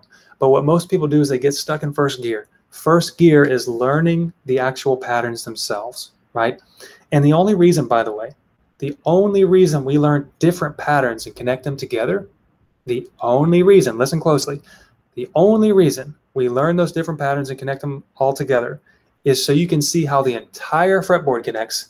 And then after you see that, you have that light bulb moment and you see the seven string pattern that I'm talking about. We call it the big repeating pattern or the freedom key system is part of that, right? Then you no longer have to use those all those different patterns. You see how the entire fretboard connects. Now, is it useful to use the individual patterns? Of course it is, right? You can still think about those or use certain little finger patterns whenever you're playing. But the point is we want to go to the next gear, right? We want to go to the next level. And the next level is uh, once you actually learn the master roadmap, once you learn where all the right notes are by connecting these paths, you discover that it's really only one string pattern repeat over and over again. Now it's time to start listening, just like we talked about a little bit uh, a little bit ago. You need to shift your attention away from focusing on patterns. The patterns are not going to produce music for you. This is not a musical instrument. Most people say the guitar is a musical instrument. It's not. The guitar is just a machine. If I just put the guitar like this and I just have my guitar right here, how long do I have to wait before it starts making music? I'm going to be waiting forever, right? It doesn't do anything. It just sits here. The music comes from you like any music that I'm playing comes from me. It's the emotions, it's the feelings that I'm trying to express. Now, those scale patterns that we're learning, number one, not, not only are they for getting you to be able to play the right notes in the key without having to think about the names of the notes, it gives you an easy way just to hit the right notes so that, you can begin practicing and playing with, let's say, backing tracks and listening to the sounds that you're making so you can start to make music out of those sounds. That's the second gear. Most people get stuck in first gear of thinking that the patterns, or they're focusing on the actual patterns themselves and wondering, okay, when are these patterns gonna, you know, finally all come together and make music for me? And that's that's the thing. It, it, it never will. Gear number one is just for learning where the patterns are. when you like let's say you're in first grade well the purpose of first grade is to graduate and then go to second grade right so after we're in first grade uh, and i'm not saying that learning all these patterns is first grade easy it's really not um, but after we learn the patterns after we learn how it connects together then we need to graduate from doing that you can still practice and keep your what some people call your technique up right you can still practice the actual patterns just to make sure you have them down just to keep your your wheels greased, so to speak, just to make sure you're in shape to play guitar, your fingers are in shape. But you got to move on to the next gear. And the next gear is using the notes, using the right notes that you already know because of the patterns to start listening to the sounds that you're making and start to make music out of those sounds. Start to be expressive uh, with those sounds. And how do you do that? Well, like I said before, we have uh, the courses on all the different types of um, ways that you can express notes on the guitar. Specifically in Irresistible Phrasing 101, you're going to know how to um, use things like what people call phrasing tools, which are you know hammer-ons, pull-offs, slides, bends, those kinds of things. But you're also going to be able to add in other courses the other um, elements of music, which is what I call framework, knowing where all the right notes are. You know that's the first step. Uh, fitness, getting your fingers and your hands in shape to be able to do stretch like this. Look, my fingers could never, ever do this when I first started playing guitar. In fact, I couldn't do this until somebody showed me how to start doing this, right? And, and I, it wasn't just like there's a trick and then all I, can, I can all of a sudden do it. No, your fingers are like athletes, and the guitar neck is just like a playing field. You literally, just like a basketball player has to go to the gym um, and and work out and do drills on the court to be able to perform well in the game. Same thing with your fingers right? There's no shortcuts. There's no magic pill, as some people would have you believe. You know, learn this one little trick and you know you'll magically be a guitar god in five days. Come on, really? No, that's that's not that's not reality. Okay. There are specific drills that we can do. We have a course called Unlimited Dexterity, which will get your fingers to being able to look like this, to being able to move fluidly across the neck. And if you actually do the exercise that I show you, it will happen because of the law of cause and effect. Just like if I throw this pick across the room, it's going to go across the room and hit on the floor, uh, hit the floor. If I throw a ball up in the air, it's going to come back down to the ground. It's just how it works, right? If you just do the steps that we lay out for you, it just works. If it doesn't work, then that means you didn't work it. I promise you it works as long as you work it, okay? Now, the other elements of music, of course, that we train you on specifically um, to answer this question as well, that is uh, also harmony. So uh, harmony is any two or more notes played at the same time. What is the contrast of the notes? How does it make you feel? How do chords work? How do I know where the right uh, chords are? Uh, rhythm, which we've already talked about, which is pretty self-explanatory. Most people think of rhythm, uh, they think of rhythm playing rhythm guitar, meaning like playing chords, like I'm playing a song, um, or I'm singing or I'm playing. But the reality is every single thing you play has rhythm, even if you're playing just one note that's a rhythm, right? There's different types of rhythms you can do. The better your rhythm skills are, the better you're going to sound as a musician, okay? And the last one is phrasing. Phrasing is the first thing that we talked about a second ago, which is using things like phrasing tools such as bends and slides. And it's just changing the way that you approach playing each note to give it a little more flavor, to get a little, to give it a little more spice. But um, yeah, so again, don't get stuck in first gear. Don't only focus on playing the patterns just do that as first gear, first grade. When it's time to graduate, you need to move on to second grade. Uh, and second grade is, you know, the classes get a little harder, right? In second grade, you have to stretch your skills just a little bit more. That's when you start incorporating the rhythm and the phrasing and the harmony with your playing. And you have to really listen to what you're doing and train your ear to hear what you want to hear in your head. You hear the sounds in your head and you work on playing those sounds on your guitar. That's the ultimate goal. Awesome. Awesome. So we have one question left, but I actually have a question um, for you. And that guitar that you are holding, can you tell us a little bit about it?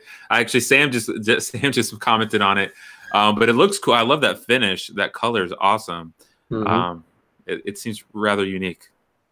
Yeah, it's. Uh, I guess it's unique. Uh, what's up, Sam? Thanks for tuning in. Appreciate you having me here, man.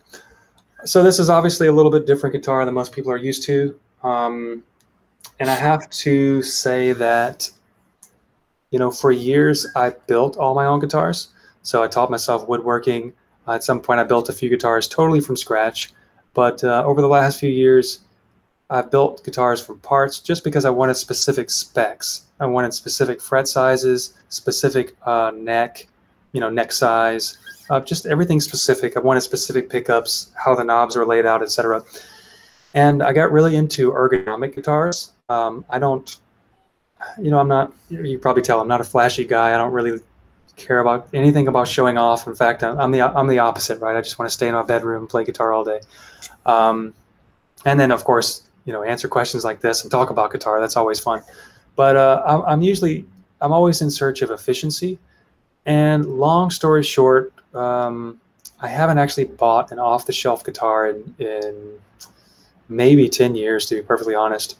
But uh, there's a company called Strandberg, and I've been following them for uh, for a few years uh, just because they make ergonomic guitars and the way that they make the guitars is very it, like i said it's ergonomic so everything is meant to be efficient everything is meant to make you or to help you play easier and help you play better so i'll just point out a couple of different things and why this guitar looks funky first of all um, i'll just point this part out this looks like maybe a shark took a bite out of my guitar and that's literally just so I can rest it on my on my knee. So if my knee's right here, I can just rest it like that, right? And plus, it reduces a bunch of weight. There's no reason for a guitar to have wood right here. Same thing with this part right here. There's no reason for this wood to be here. It just exists, and it's heavy. And personally, I've I've honestly had back problems since seventh grade, and um, let's say I go to a concert or something, I literally cannot stand up for five minutes. I have to squat down. Uh, I have to go sit in a chair or something, and it stinks, but it is what it is. So uh, part of it is wanting a light guitar. I, want, I really wanted a light guitar. And as you can see, there's no headstock here. Now, a lot of people hate the way this looks. Um, again, I'm not so concerned about looks. Looks are important in terms of what inspires you. Like, does your guitar make you want to pick it up and play it? That's very important, in my opinion. But uh, I'm not so concerned about having a super nice guitar or anything like that. Uh, I just want something that feels good, that inspires me to play it. So headstock, I don't have tuners up here. There's a lot of weight that's not up here. It doesn't make my neck want to dip down whenever I put a strap on. So that's um, that's another thing. And there's there's something that's going to blow your mind in a second if you can see it in the light. But I just want to point out a couple of other things. So there's no tuners here. So where are the tuners? Well, the tuners are actually right here. So there, there, there are these little knobs, and uh, I can turn these knobs to tune the strings. So the ball end of the strings actually goes through this way. And the string uh, clamps and those little, I guess, I don't know what to call them, little clamps. Um, you can screw those little screws down and you just cut the strings off. It's really easy to change the strings. And a couple of other things. Uh, sounds like we've got some motorcycles outside. Sorry about that. There you go. It sounds like a pipple or something. Uh, yeah.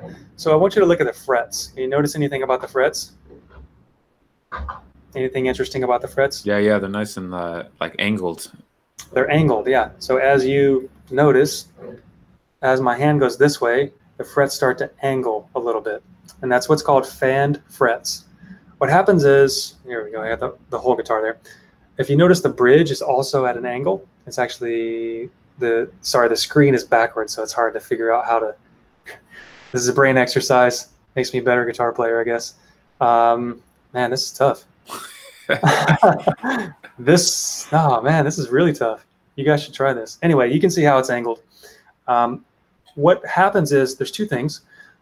A byproduct is whenever I move my hand, I'm a human being, right? So whenever I move my hand and I leave my elbow in the same place, my hand naturally uh, changes angle, right? If I'm playing up and down the neck, my hand naturally changes angle.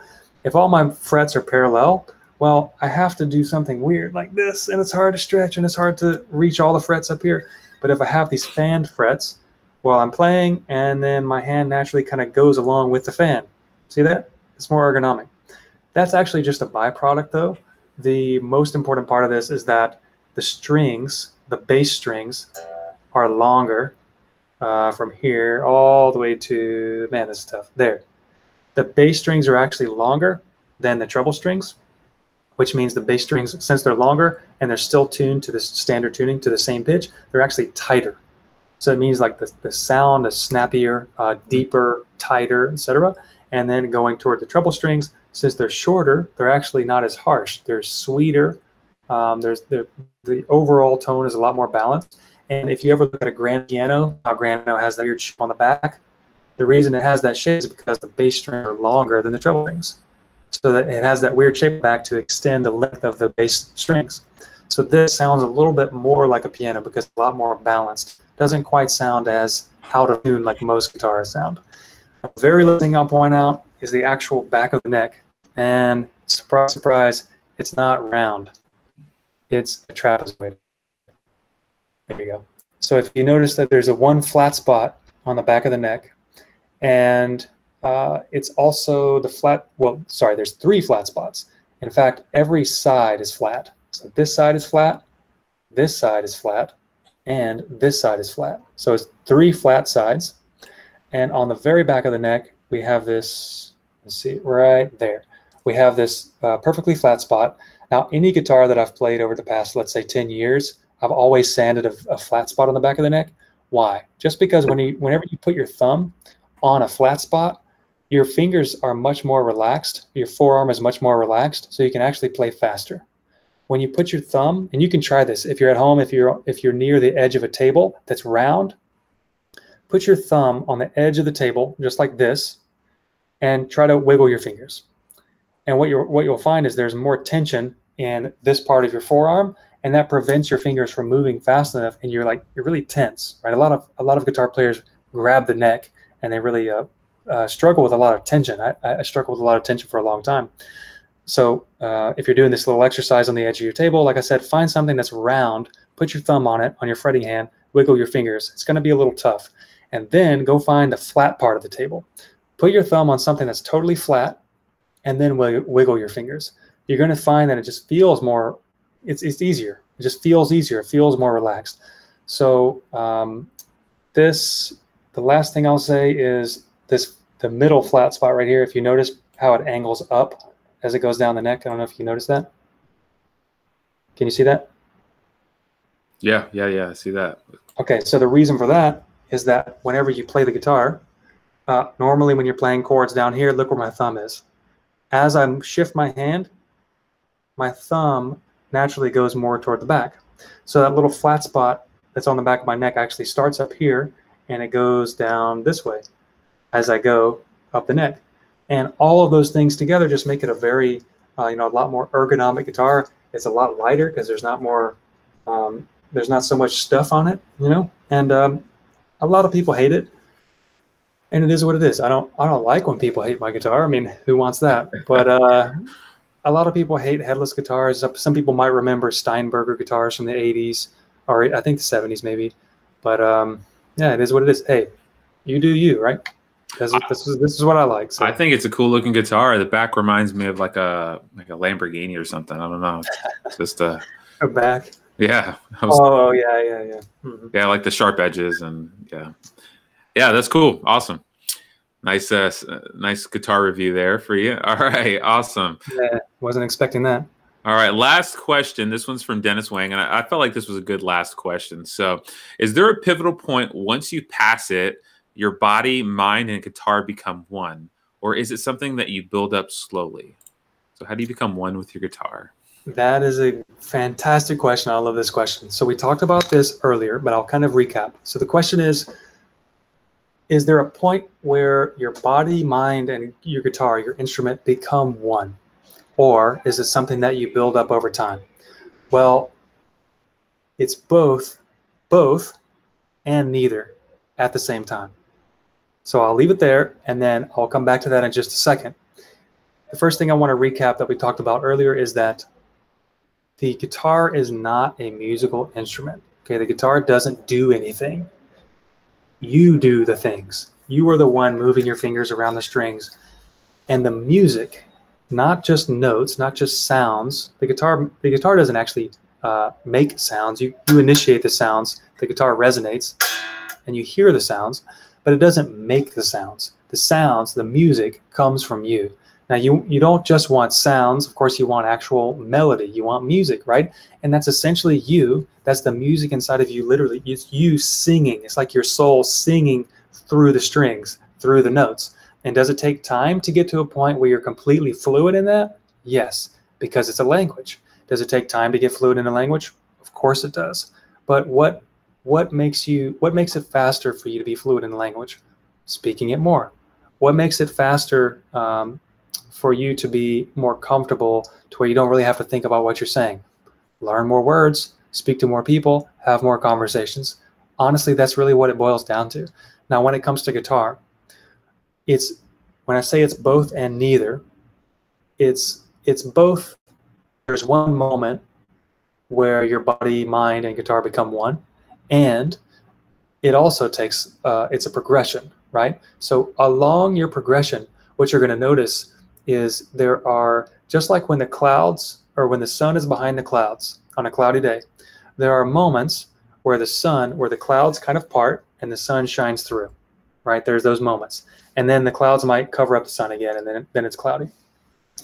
As you play and as you get better, uh, of course, that's what our that's what breakthrough guitar is here for. By the way, is is sounds cheesy, but to allow your sun, your inner sun, to shine, and I'll explain how in a second. But uh, that's why we developed the Guitar Freedom formula, literally to give you that sense of freedom, to give you that uh, where you're to, to lead you to the point where your body, mind, and guitar do become one. So what does the progression of that look like? Again, imagine a completely cloudy day, okay? And there you can't see the sun at all. There's, there's clouds everywhere, completely cover the sky. When you're just beginning on your guitar journey, it's always cloudy because you can play a few things, but it never really feels that great, never really sounds that great. You can't really put it all together. Um, over time, you learn more and more, and you get glimpses. You get those little tiny moments where the where the clouds part just a little bit, the sun kind kind of shines through just a little bit, and you have those moments of kind of euphoria or that that happy place where something just works, and whatever it is that you're playing in that one moment, it might even be two notes or one note or four notes or two chords, it doesn't matter. You just have that one moment where the sun shines through and you're just you're just in the zone. You're just there. And you're, you're the body, your body, your mind, your guitar is just it's all one thing. It's one symphony happening at one time. But more near the beginning of your guitar journey, you just get a glimpse of that sun and then the cloud covers it back up again, right? So the better you get, the better you get through what we teach in the Guitar Freedom Formula, which is, uh, you know, framework, uh, phrasing, fitness, harmony, and rhythm. Phrasing, knowing where all the right notes are and being able to hit them without thinking. Um, phrasing, knowing how to uh, basically, um, whenever you play the notes, kind of manipulate the string a little bit to make it sound like music, to make it sound like you're singing. Fitness, how do I get my fingers in shape to be able to perform what it is that I want to play or the music that I want to hear on the field of the guitar fretboard, just like a football field, but it's a playing field for your fingers, right? Harmony, how do chords work, where do I play them, which chords sound good, what are the right chords and notes, and finally rhythm. How do I make everything I play fit in with the music, and how do I connect with the song that I'm playing and make sure I never lose the groove, right? Those are the five elements of the Guitar Freedom formula. Add those five things together, and you can literally play anything you set your mind to on the guitar. That's why we created it. That's what it's here for, and that's what we ultimately want for you is to have freedom on the guitar um, but going back to the example about the clouds. So in your guitar journey, everything's cloudy at first. The sun never really shines through. You can't really, it just doesn't feel great, right? And then as you play, you get a little better. You learn some skills, uh, the skills that we teach in the Guitar Freedom Formula, those specifically those five skills. Um, the sun, there's little pockets where the clouds are rolling through, and then there's a little opening, and then the clouds kind of cover up the sun again, right? But then as you play more and more, what's going to happen is those clouds start to dis disappear, right? those moments where the sun shines through last longer and longer and longer and there's more of them there's more there's a higher frequency of those moments where the sun shines through and then sometimes you might um, as you pro keep progressing along your guitar journey you keep getting better with those five skills we talk about uh, phrasing uh, fitness phrasing excuse me framework phrasing fitness harmony and rhythm as you get better at those five skills the guitar freedom formula skills what's going to happen is the clouds are going to start dissipating and there's fewer and fewer clouds. You have more moments and more time. You might even go a whole day or a whole week where the, the sun is just shining, or maybe it's just an hour where you're just really in the zone. You're just really feeling it. might be a couple hours. Um, or like Charlie said a minute ago, he's, he's, you know, just having fun exploring the fretboard for hours, right? So the sun was shining through. He's, he's loving it. And what happens is you get better and better and better and better. And eventually most of the clouds just disappear and I say I don't say all the clouds. There are moments where the sun just keeps shining and that music inside you just flows. It's it's easy, it's effortless. You don't have to think about it. Your mind, your body, the guitar is all one thing. The music is just flowing. You're just like a radio where your brain is tuned in to the right station, to the right frequency, where the music comes through and it just keeps flowing through the guitar. And that's the best feeling on the planet. But I say most of the clouds and not all of the clouds because we're all human. We're, we're none of us are perfect. Um, you can be really great at a few different musical styles or you know, a couple different musical styles, but nobody's great at everything, right? Everybody makes mistakes, right? The clouds will kind of cover up the sun sometimes. It's just going to happen. We're all human. There's no such thing as perfection. And let's say, for a, good example of that is BB uh, King. If you know who BB King was, one of the greatest guitar players of all time, arguably um, one of the greatest blues guitar players of all time. He was one of a kind. He was BB King at what he played, right? But surprising to most people, if you go look up, there's a there's a video with BB King and uh, Bono from U2. There's a video uh, of them trying to play together, and BB King says, "I don't do chords." BB King couldn't play a bar chord. Can you believe that? He literally couldn't play chords. That's why he just played lead guitar all the time, and he was fantastic at what he did. But he still had some clouds in this guy, right? He just avoided the clouds. So anyway, there you go. That's how the guitar journey works. Um, that's how you eventually get to the point where your your mind, your body, your guitar is all one. That's how the sun shines through, where you can play your music, where you're just you're tuning, you're completely tuning in. The music is flowing through you, and you have complete freedom on guitar. I think that's a great place to wrap it up for the last question.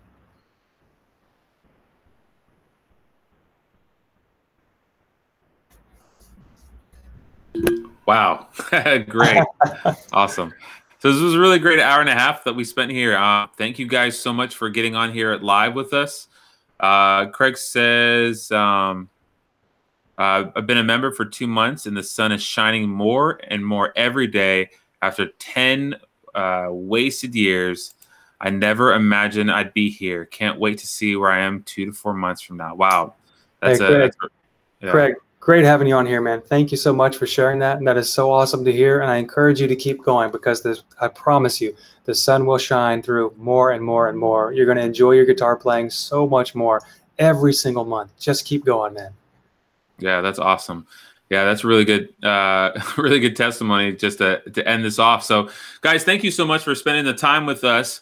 Uh, definitely, if you guys missed part of it, go back and rewatch it from the beginning. There's a lot of really good stuff. Um, and if you are new to Breakthrough Guitar, there is a link in the description on YouTube where you can check out the ultimate uh, light bulb guitar moment, where you can uh, just learn how to break through guitar, how to how to start on this journey that we've been talking about throughout this this whole call. Um, any final words, Jonathan? Yeah, so about the ultimate lead guitar light bulb moment. Look, if you're watching, if you got value out of this, uh, if you saw any of the sections with us here, we highly, highly encourage you to go ahead and dive into the Ultimate Lead Guitar Light Bulb moment. We created it specifically for you to kind of introduce you to the method that we use uh, of playing guitar by feel, skipping all the boring and overwhelming theory, skipping all the information overload out there. Look, you don't need it, right? You don't you don't need to waste your time doing all that. Uh, just like Craig said a second ago, he's been you know playing for two months and he's having a blast, and he wasted 10 years. Guys, you don't need to waste 10 years. Please don't do it. Please don't. Please pick up the Ultimate Lead Guitar Light Bulb moment if you haven't already.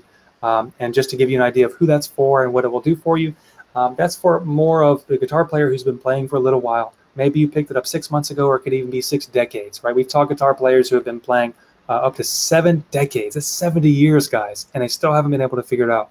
So if you're anywhere in between, if you've been playing for a couple of months, or if you've been playing for 70 years, right? And there are a few things you can play, but maybe you kind of get frustrated. Maybe you play the same things over and over again sometimes. Uh, maybe you can't really, you don't really make that much progress. You kind of spin your wheels when you practice sometimes. Maybe you go on YouTube and you get frustrated. You can't really uh, find who who should you pay attention to. What should you actually be learning? Should I learn the circle of fifths or the CAGED system or the theory or should I read music or should I do this? Uh, it's it's overwhelming, guys. Um, and that's why we created the ultimate lead guitar light bulb moment for for the guys who want to progress, want to be able to understand the why behind what they're doing on the guitar neck, want to be able to start playing lead guitar. And the reason why we say lead guitar is not only because it's amazing, but because it gives you the foundation of everything in music through what we teach. So no matter if you want to play chords, if you want to write your own songs, if you want to write your own solos, if you want to just play with your kids or your grandkids or your father or your, or your mother or your family or whoever, um, definitely get into the ultimate lead guitar light bulb moment because we show you the one thing uh, that you need to start or not that you need to but that will that you can start using to literally open up a whole new world in the fretboard yeah. and you'll see how it all works okay? And then from there we can take the next steps. But guys if you haven't already dive into the ultimate lead guitar light bulb moment and uh, that's all i got. So thanks guys so much for being on here. We, we so much appreciate you. It's honestly a privilege uh, for brock and i to get on here yeah. to you know to take our time like we we don't want to be eating dinner right now we could be going to eat eat dinner and making hot pockets in the microwave but we would so much rather